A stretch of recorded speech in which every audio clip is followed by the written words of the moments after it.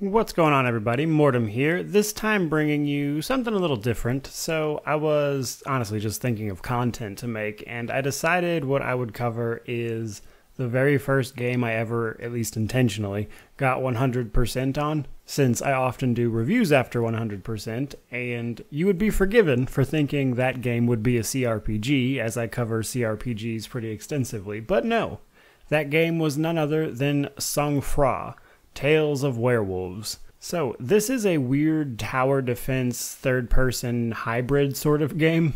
And if you're unaware, in like the 2000 ish era, tower defense games were very popular, especially browser based ones on sites like Kongregate, which I believe is actually no longer a thing. And given how incredibly poor I grew up and homeless at one point, actually, free games that I could play on like school computers and things were obviously very appealing to me. So fast forward a few years when I'm getting on my own, and this game actually released in, I believe it was, God, 2013, alongside uh, other similar games in concept, actually, like, say, Orcs Must Die, for instance. That's a franchise that does this sort of thing. And it's a small wonder that I was, you know, interested in it at the time. And it is definitely an indie game by every account. I actually think the studio that made this game is no longer in business, even. And because of that, if I'm not mistaken, this game is actually free on Steam now. But the gist of it is that your sister Josephine has actually been possessed by the devil.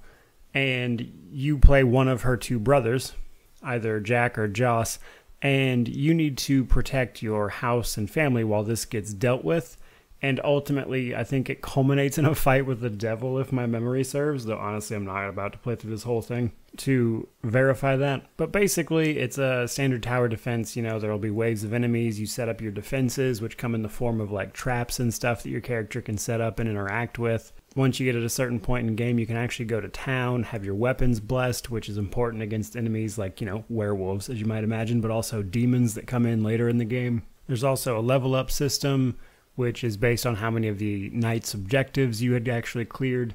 And then you can use your level ups to invest skill points that will help you do various things. And overall, for this weird, like, mix of indie tower defense sort of game, it was just really fun.